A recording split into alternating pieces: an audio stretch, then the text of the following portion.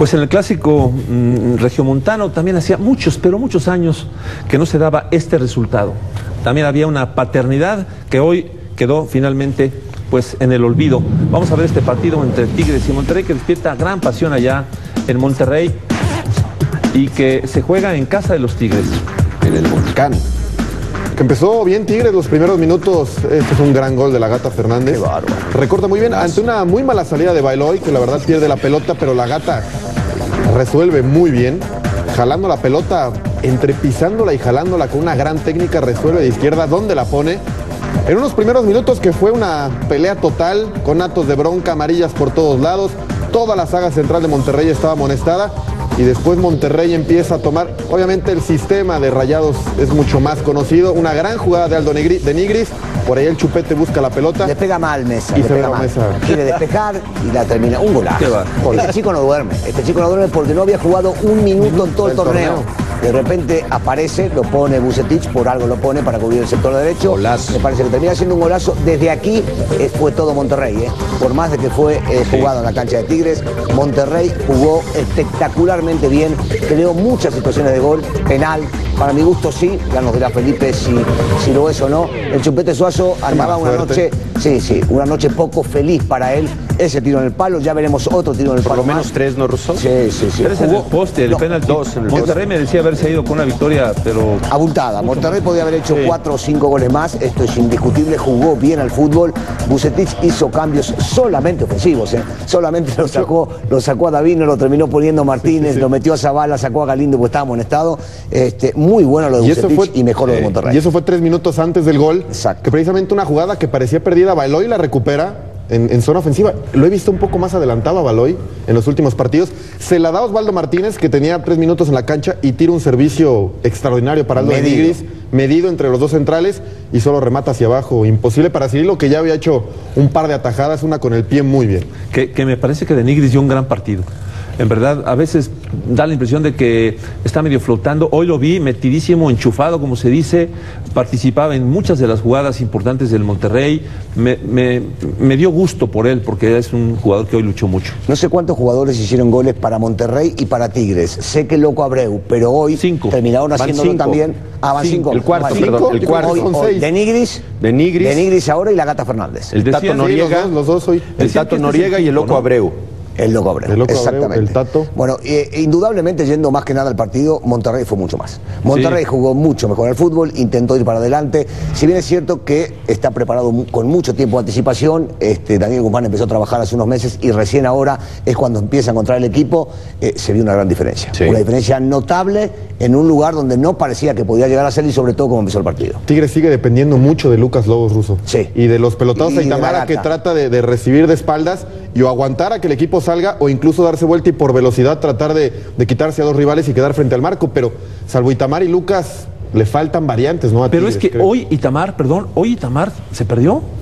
Yo no lo vi realmente hacer una jugada completa. Estuvo casi siempre de espaldas, fallaba casi todos los servicios, no controlaba la pelota. Yo creo que hoy Itamar le hizo mucha falta eh, eh, a Tigres estando en Itamar. Lo vi, la verdad, perdidón. Por un lado estuvo bien marcado. Por un lado, era lo que iba a estuvo muy bien marcado. Pero por el otro, cuando tuvo oportunidad y pasaba a alguien, era jalado enseguida. Era Davino falta lo- enseguida. sí. Davino primero, Davino después. Mesa. O sea, por donde pasaba se le hacía muy difícil y no tenía llegada con acompañamiento. Y ahí sí se le hace muy difícil. Era buscarlo a él y él tirar la pelota para adelante a ver si podía llegar a sacarse alguien de De encima. repente hasta, hasta, hasta torpe lo veía yo, porque no podía fácilmente quitarse a uno, a dos que lo estaban marcando. O sea, es, él es lanzado en velocidad y con la potencia que tiene. Hoy no lo dejaron realmente ni arrancar, pero bueno, es, es simplemente un comentario sobre la actuación de, de Itamar. Vamos a ver los números de Monterrey y Tigres. Aquí está. ¿Vale?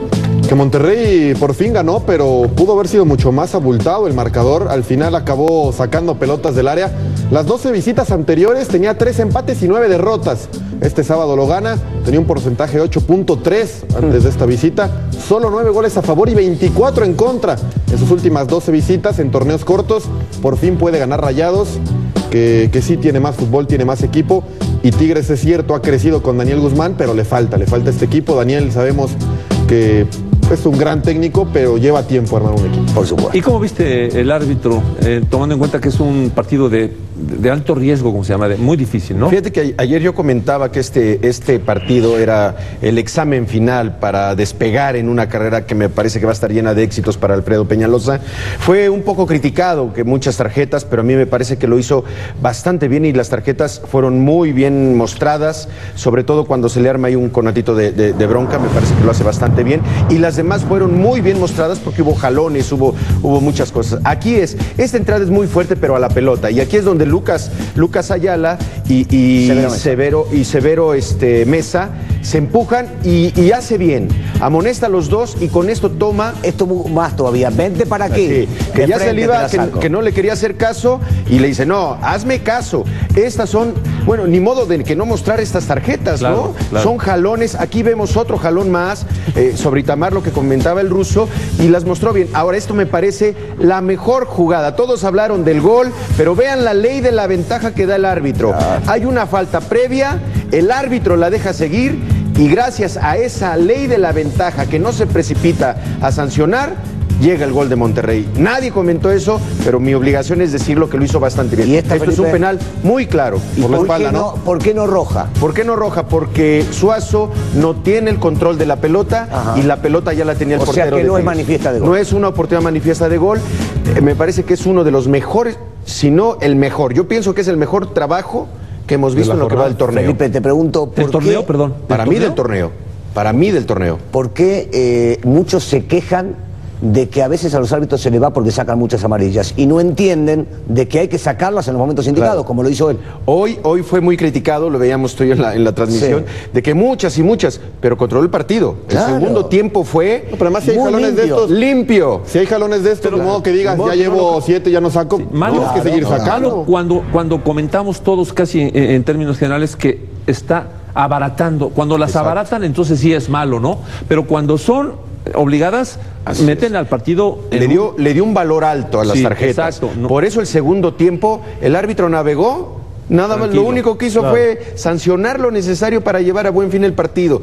Pero las primeras tarjetas fueron muy, muy este, atinadas y exactas. Cuando se armó esa cámara húngara sobre el costado y que después termina molestando a Severo Mesa y Ayala, había 7, 8, 10 jugadores manoteándose nada más. Vos me decías, no, no hay que sacar roja, porque se están manoteando nada más. Y lo vi bien a él de costado, parado con sus auxiliares, mirando a ver qué pasaba. ¿Qué es lo que hay que hacer? Hay, hay veces que los árbitros cometen errores en meterse en medio del- de, los jugadores empujando. Yo pregunto, ¿qué va a pasar el día que le peguen a alguien? Ajá. Y esta tripleta lo hizo bastante Se quedó bien. mirando. Por- hicieron un triángulo, triángulo, claro. vieron todo y él sabía perfectamente bien. Ahora, algo ¿Quién? que me gustó es lo que tú comentas, Ruso. Ayer vimos a, una- a un jugador que se fue y no le hizo caso al árbitro. Cuando Lucas Ayala se quiso ir, no, no, no, a ver, espérame. Vente para aquí. Ven para acá y te muestro la tarjeta de frente. O sea, Sí, claro. te la llevo. muy bueno. Pero a ver, a ver, También- a- a ver, Felipe, yo, yo ya, ya recuerdo esa jugada que tú dices.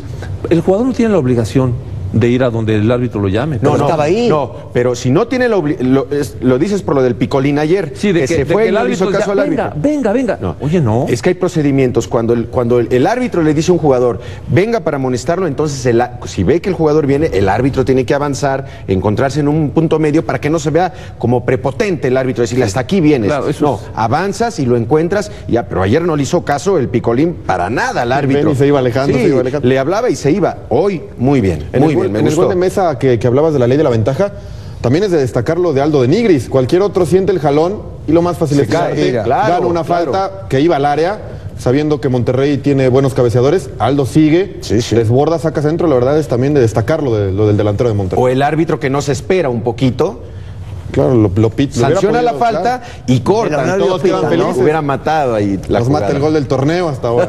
¿Sí, será? Sí. ¿Tenés alguna de esas, no? Sí, como la de ¿Cuál? Severo. La de Severo, el gol yo- del... Te digo una cosa. Hubo grandes goles. Yo, el que anotó Marioni, Sí, sí, hubo grandes goles. Pero, sí, pero esto, golazo. tomando en cuenta que es en un clásico de un defensa y que no venía jugando, yo me quedo contigo. ¿eh? Yo me quedo Del año no sé, porque ahí está el de. Landín, el, el semestre anterior. Sí, aquel sí, de- no. No, pero por ahora me quedo. grandes goles hemos visto.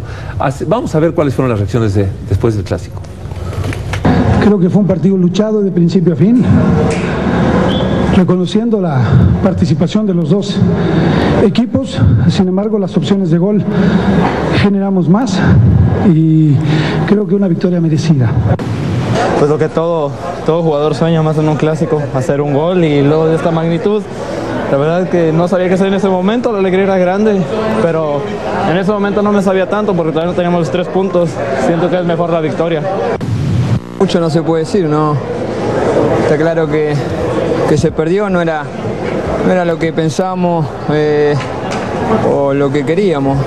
La verdad que uno, uno después de tres fechas que se viene jugando acá y no poder ganar te da, te da un poco de impotencia, te da, te da bronca.